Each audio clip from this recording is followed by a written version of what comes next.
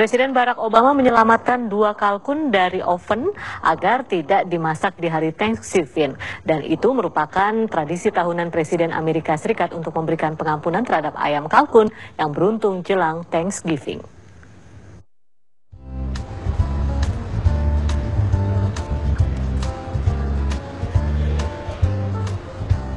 Tak lengkap rasanya bila merayakan liburan Thanksgiving tanpa merasakan hidangan menu kalkun.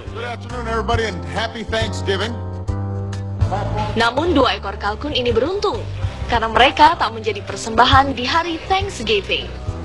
Presiden Barack Obama mengampuni kalkun yang bernama popcorn ini kala berbagi panggung dengan presiden di Gedung Putih. Seekor kalkun lainnya, Karamel, juga menerima pengampunan dari Presiden Barack Obama.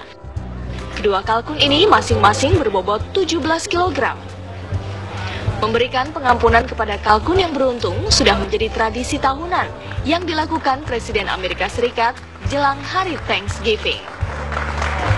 Thanksgiving Day adalah hari pengucapan syukur yang jatuh di hari Kamis keempat pada tiap bulan November.